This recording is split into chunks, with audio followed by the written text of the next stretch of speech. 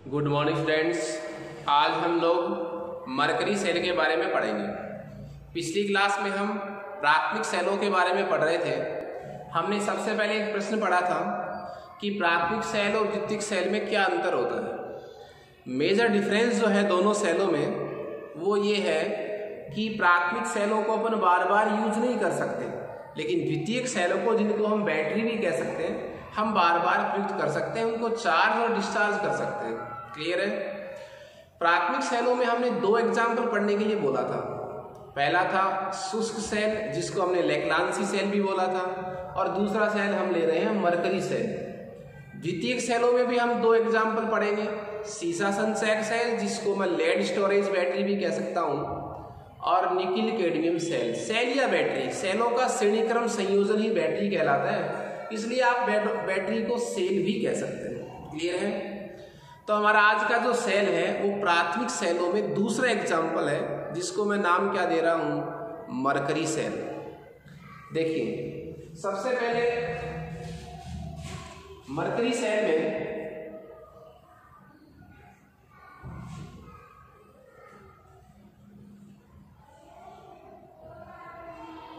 ये जो mercury cell है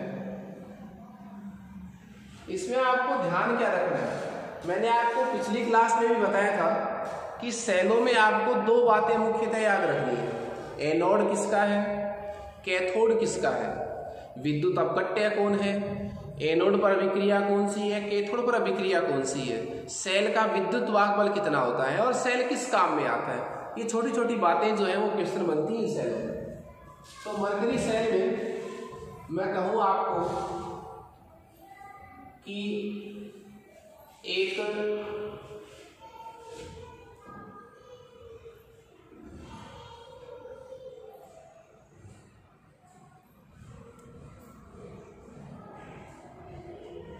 सेल का एक निश्चित मैंने लीनियर डायग्राम बनाया है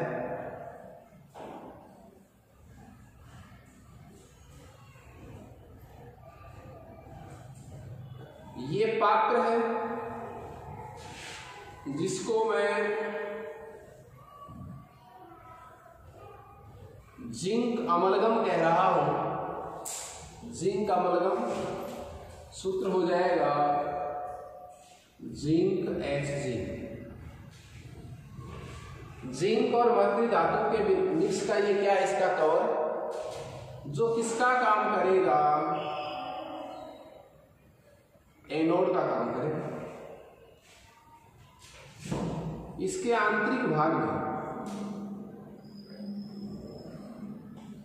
इसके आंतरिक भाग में एक पेस्ट भरा हुआ है। इसके आंतरिक भाग में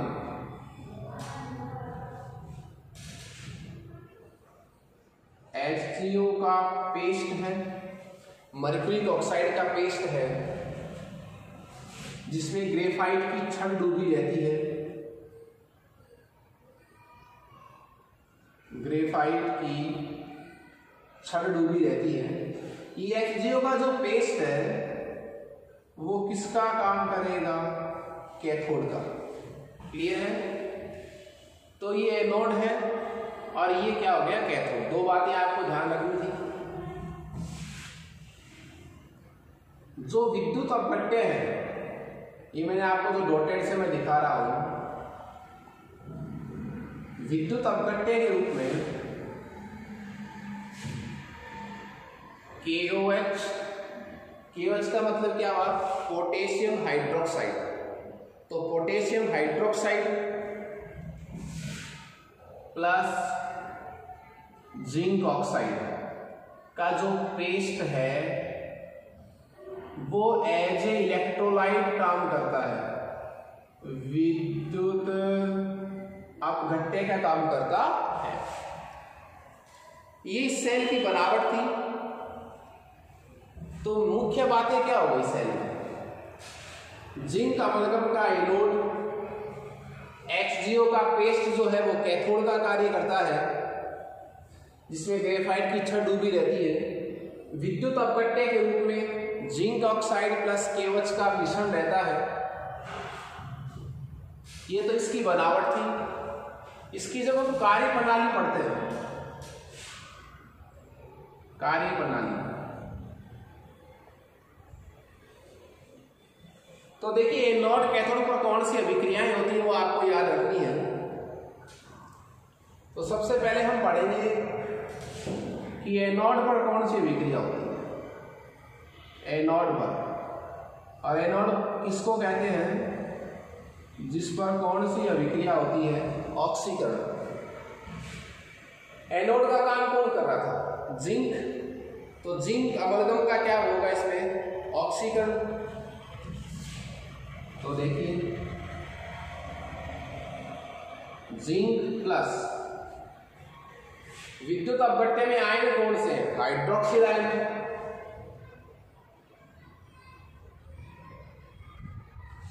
तो यहाँ से ये चेंज हो जाएगा Z N O plus H two plus H two plus दो इलेक्ट्रॉन, जिंक दो इलेक्ट्रॉन निकालेंगे। तो फिर यहाँ से ऑक्सीजन कितने दो, एक और एक दो तो यहाँ ओच कितने हो गए? आवेश भी संतुलित है। इधर माइनस दो आवेश है, उधर भी माइनस दो आवेश है। ऑक्सीजन का मतलब क्या हुआ? दो इलेक्ट्रॉन निकले। कहाँ से? जिंक से। तो जिंक का क्या हो गया? ऑक्सीजन हो गया देखो, यहाँ पर जिंक ज़ीरो ऑक्सीडेशन स्टेट में था। यहाँ जेडेनो में ये कैसी ऑक्सीडेशन स्टेट में है? प्लस दो ऑक्सीडेशन स्टेट में है।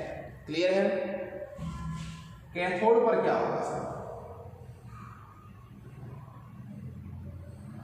कैथोड पर क्या होगा? जहाँ अपचयन होगा, उस एंड को अपन क्या बोलेंगे? कैथोड। कैथोड पर क्या होगा? कैथोड का काम कौन कर रहा था? ये एच का पेस्ट जो है, वो कैथोड का काम कर रहा था। तो एच का जो पेस्ट है, वो कैथोड का काम कर रहा है। एनोड से निकले गए इलेक्ट्रॉन कैथोड पर एक्सेप्ट किए जाते हैं। दो इलेक्ट्रॉन में लिख दिया तो ये बढ़ जाएगा मरकरी। क्या बढ़ जाएगा? मरकरी। अब इस मरकरी में हमें देखिए इस दो ओवच को कैंसिल करना है। इस सेल की खास बात यही है। दो ओवच माइनस को कैंसिल करने के लिए मैं एक और एच टू लेना पड़ेगा बैलेंस करने के लिए। दो ऑक्सीजन है तो एक और एक दो। इससे क्या होगा? जब आप नेट सेल अभिक्रिया लेंगे, जब आप क्या लेंगे? नेट सेल अभिक्रिया लेंगे तो ये कट जाएँगे। ये सब कट जाएँगे। रह क्या जाएगा? Z N plus H G O arrow का साइन एच टू से एच टू कट जाएगा। Z N O plus H G ये नेट सेल अभिक्रिया हो गई मरकरी सेल की। आप इन अभिक्रियाओं को देखकर एक बात कह सकते हैं। क्या कह सकते हैं? इन अभिक्रियाओं को देखने से आपको एक बात मालूम पड़ सकती है कि जब भी मरकरी सेल काम करता है मरकरी सेल जब काम में आ रहा होता है उस समय ऐसा कोई आयन उत्पन्न नहीं होता, जिसकी सांद्रता बदलने से सेल की वोल्टता बदले। इसी कारण, क्या कारण है कि सेल में की नेट सेल अभिक्रिया आप देख रहे हैं?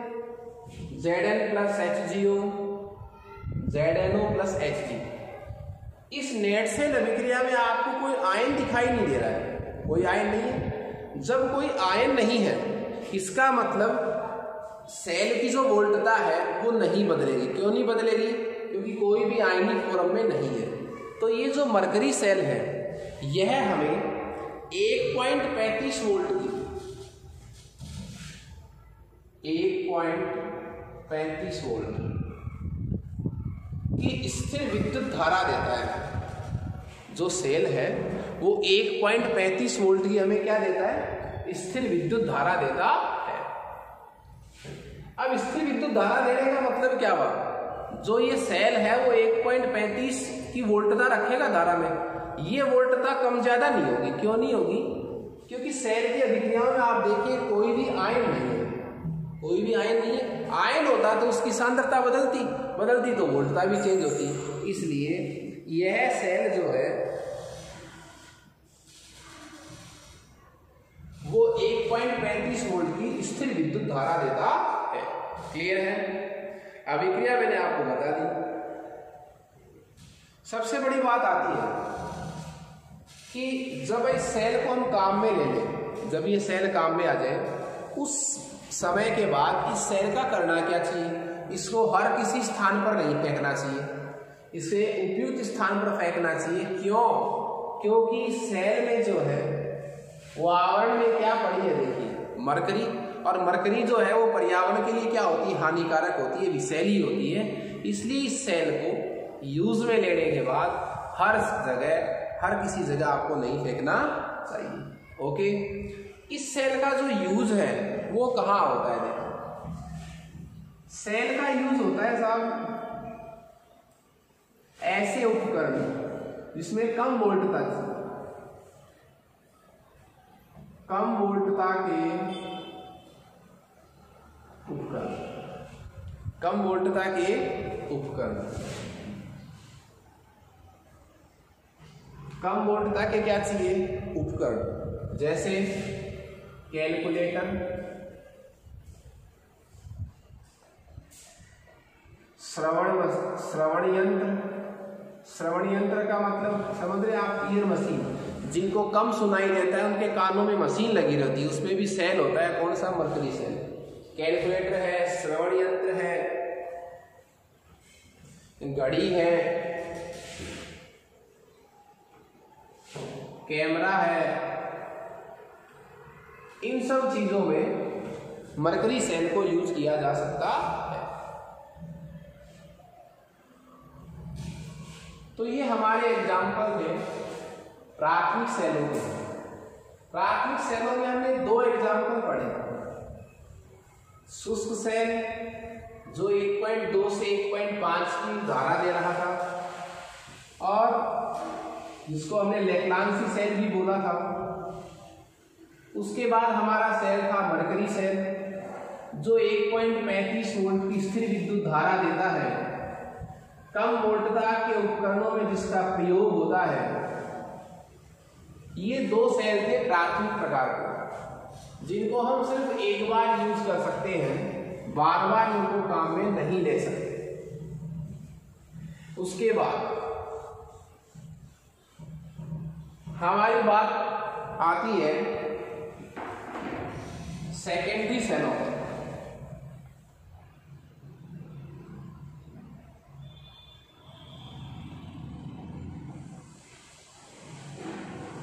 द्वितीय सेल द्वितीय सेल का एक ही परिभाषा, इसको हम बार बार यूज़ कर सकते हैं। क्या कर सकते हैं इनको? बार बार यूज़ कर सकते हैं। सेकेंडरी सेल द्वितीय सेलों का एक दूसरा नाम होता है साहब। क्या? बैटरी इनको मैं उत्क्रमणीय सेल भी कहूँगा, मैंने आपको बताया था, क्योंकि बार बार चार्ज और डिस्चार्ज कर सकते हैं तो इनको क्या भी कह सकता हूँ? उत्क्रमणीय सेल इनमें भी रेडॉक्स अभिक्रिया ही होती है। कहने का मेरा मतलब क्या हुआ? सेकेंडरी सेल जब हमें वोल्टता देते हैं, धारा देते हैं, वो रेडॉक्स अभिक्रियाओं का परिणाम ही होती है। लेकिन जो रेडॉक्स अभिक्रिया इन सेलों में होती है, वो दोनों दिशाओं में संपन्न होती है। दोनों दिशाओं का मतलब क्या? चार्जिंग भी हो सकते हैं और डिस्चार्ज भी हो सकते हैं बार बार यूज़ कर सकते हैं। ठीक है? तो सेकेंडरी सेलों में हमारा जो फ़र्स्ट एग्ज़ाम्पल है, वो है सीसा संचायक सेल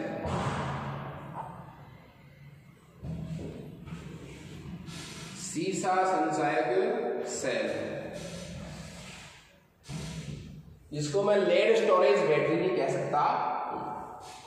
देखिए सीसा संचायक सेल में कम से कम तीन से पाँच, तीन चार पाँच सेलों को श्रेणी क्रम में जोड़ा जाता है और इस प्रकार की बैटरी बनाई जाती है। इसका जो डायग्राम है, वो बहुत इंपॉर्टेंट है। इसकी चार्जिंग में होने वाली अभिक्रियाएँ, इसकी डिस्चार्जिंग में होने वाली अभिक्रियाएँ, दोनों ही प्रकार की जो अभिक्रियाएँ हैं, वो इम्पोर्टेंट है। पहले हम सेल की बनावट पढ़ेंगे। सेल की बनावट पढ़ेंगे।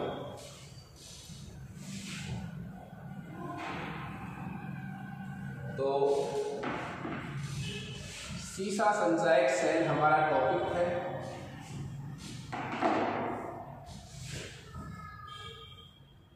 कैपिटल ए हमारा टॉपिक है सेकेंडरी सेलों में सीचा संचायक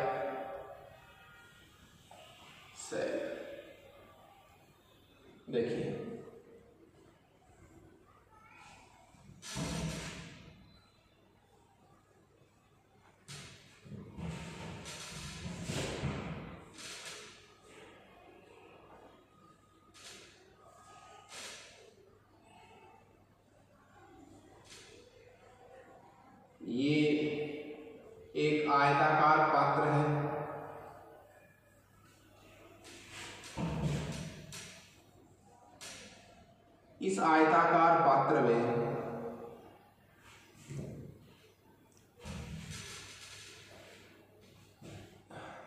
सम संख्या में हम छड़ लेंगे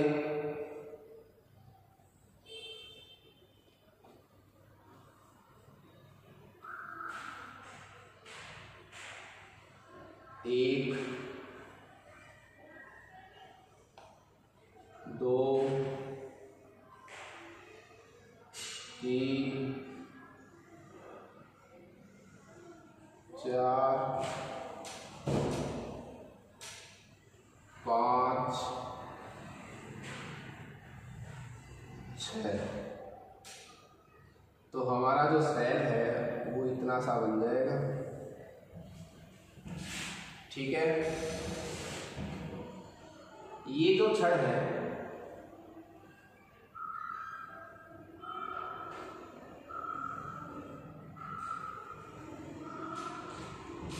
ये तीन छड़े एनोड का काम करेंगे और ये तीन छड़े जो है वो कैथोड का काम करेंगे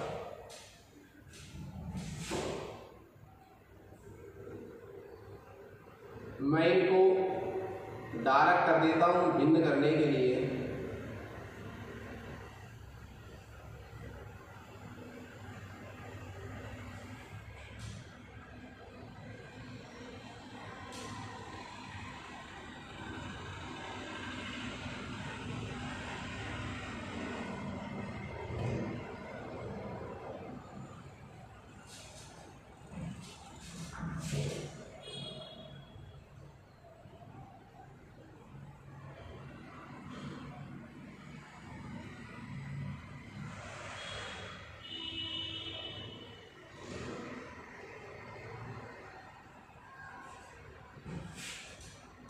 ये जो तीन छड़े हैं वन टू थ्री एकांत क्रम से, ये स्पंजी लेट है साहब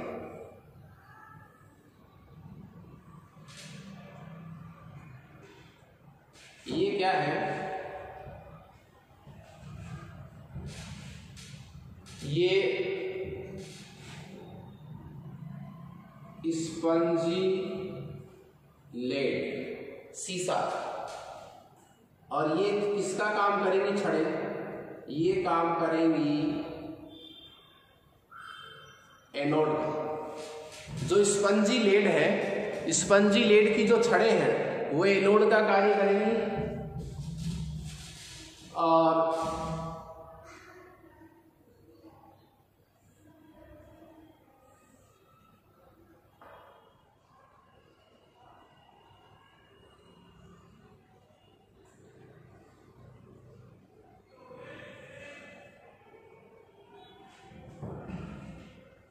ये जो छड़े हैं ये काम करेंगी इसमें क्या है पीवीएसबी की तो जाली है साहब लेड धातु और एंटीमनी धातु की मिश्र धातु की तो जाली बनी हुई है। और जाली में भरा हुआ क्या है? पीबीओ टू लेड ऑक्साइड जो किसका काम कर रहा है? कैथोड का।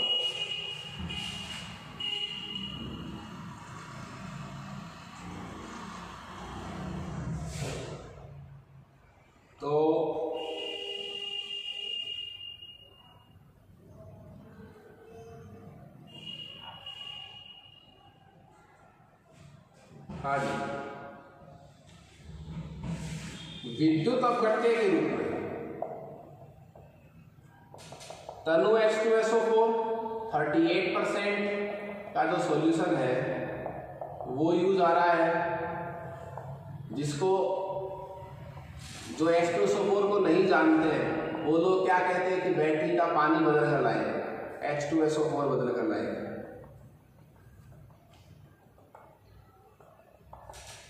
तो जो विद्युत अपट्य है, ये है तनु H2SO4 जो किसका काम कर रहा है? विद्युत अपघट्य का। क्लियर है? डायग्राम को समझिए आप। एक आयताकार पात्र में स्पंजी लेड स्पंजी लेड धातु जो है, उसकी तीन छड़े हैं वन टू थ्री ये किसका काम कर रही है? एनोड का। कैथोड में जो तीन छड़े हैं वन टू थ्री ये क्या है? लेड और एंटीमनी मिश्र धातु की एक जाली बनी हुई है। उस जाली में क्या भरा हुआ है? पीबीओ टू लेड ऑक्साइड वो किसका काम कर रहा है? कैथोड का। तनु H2SO4 38 परसेंट सांद्रता जो है, वो इसमें विद्युत अपघट्य का कार्य कर रहा है। देखिए एनोड में तो कैथोड की जो प्लेटें हैं एनोड की तीन प्लेटें हैं वन टू थ्री कैथोड की भी तीन प्लेटें हैं वन टू थ्री इनको एकांतर क्रम से रखा जाता है। ये दोनों टच नहीं हो छड़े। इसलिए मध्य में प्लास्टिक की सीट लगाई जाती है। प्लास्टिक की सीट लगाई जाती है मध्य में। ताकि ये छड़े जो है, वो एक दूसरे के टच में नहीं आए। ये प्लास्टिक की सीट है, जो क्यों लगाई जाती है? ताकि छड़े आपस में टच नहीं हो। देखिए, सीसा संचायक सेल इन प्लेटों के मध्य जब प्लास्टिक की सीट लगी रहती है। तो ये आपस में संपर्क में नहीं आती। जब ये सेल यूज़ करते हैं, यूज़ होने का मतलब क्या हुआ? जब इन सेल को काम में ले रहे होते हैं। जब इस सेल को काम में ले रहे होते हैं तो जिसको मैं क्या कह सकता हूँ? डिस्चार्ज करना कह सकता हूँ। क्या कह सकता हूँ? कि सेल को हम क्या कर रहे हैं? डिस्चार्ज कर रहे हैं। तो देखिए सबसे पहले मैं समीकरण कहा पढ़ूँगा?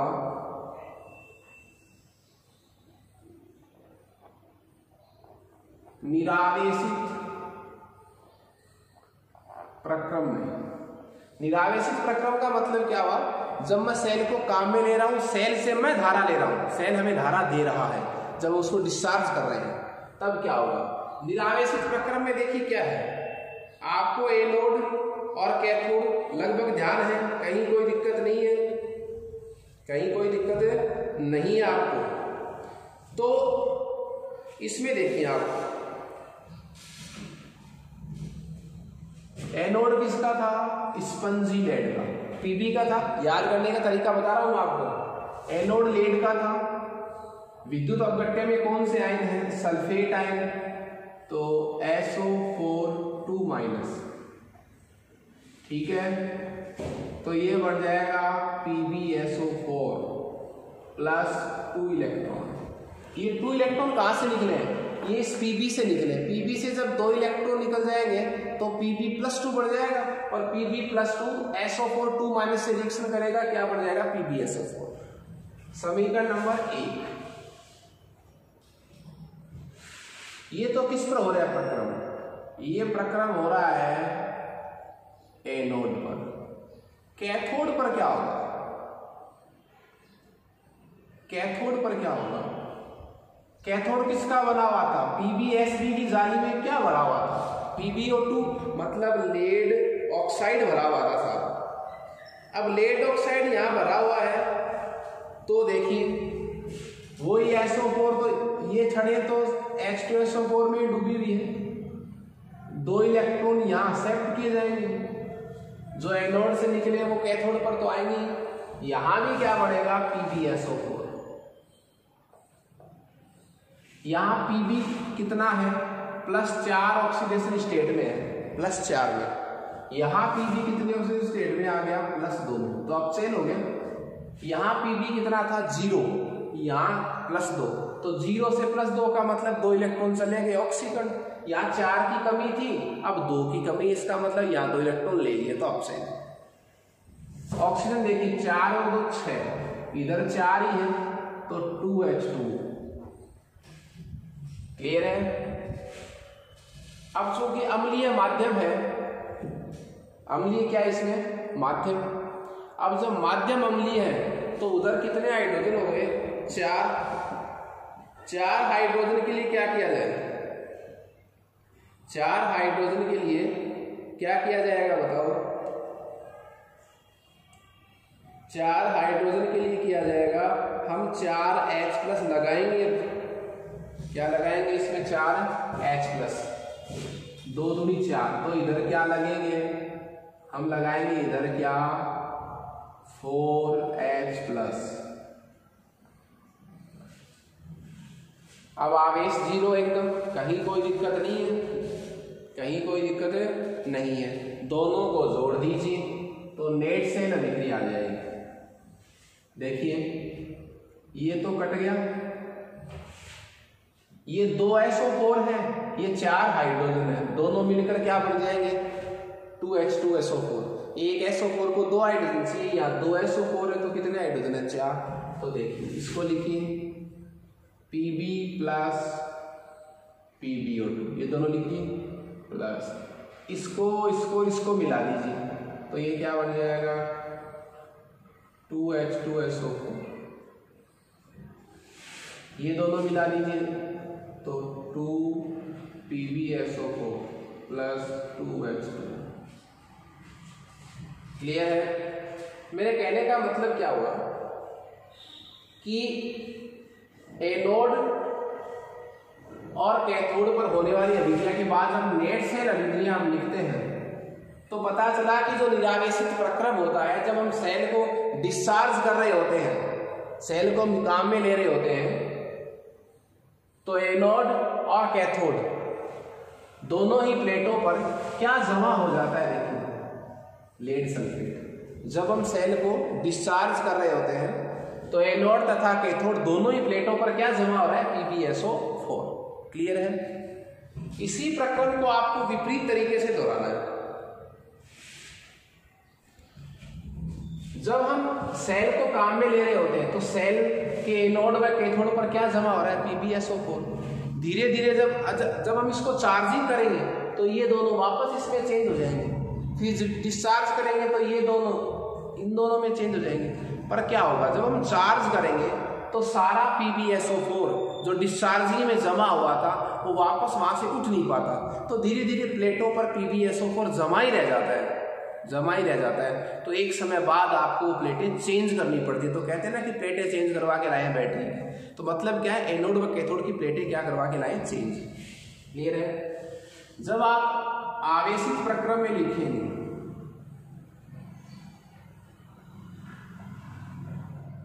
आवेशित प्रक्रम में तो ये आवेशित में क्या होगा? हम धारा देंगे सेल को। सेल को हम क्या करेंगे? चार्ज करेंगे। सेल हमें धारा नहीं देगा। हम इस सेल को क्या देंगे? धारा किसी बाह्य स्रोत से।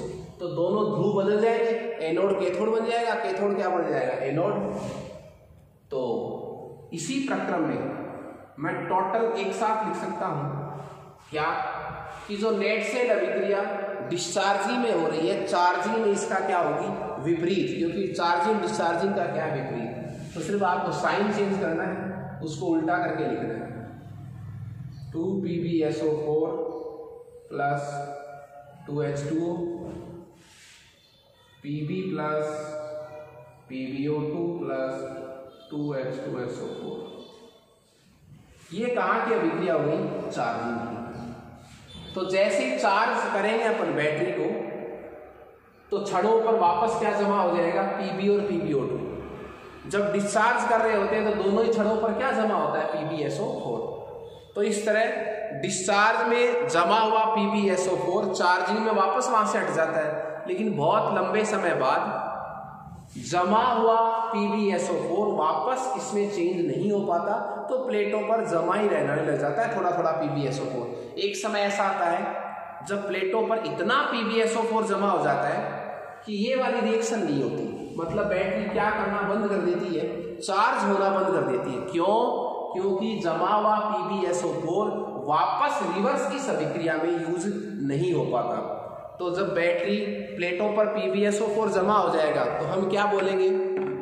कि बैटरी चार्ज नहीं हो रही। बैटरी क्या नहीं हो रही? चार्ज नहीं हो रही। इसलिए प्लेटों को क्या करना पड़ेगा? बदलवा के हमें लाना है। ठीक है? क्लियर है? इसमें आपको याद ही रखना है कि एनोड किसका है, कैथोड किसका है, विद्युत अपघट्य क्या है, चार्जिंग में, डिस्चार्जिंग में कौन सी विक्रियाएँ कहाँ होती हैं? विद्युत अपघट्य कौन है? सेल को यूज़ कहाँ करते हैं? इन्वर्टर के रूप में। ठीक है, ट्रैक्टर में, गाड़ियों में जो बैटरी यूज़ होती है, उसी से सनसैक सेल यूज़ होती है। ओके? और इस सेल की जो चार्जिंग और डिस्चार्जिंग जो रिएक्शन है, वो सबसे इंपॉर्टेंट है। ओके? नेक्स्ट क्लास में हम निकिल कैडमियम सेल के बारे में पढ़ेंगे। Okay thank you students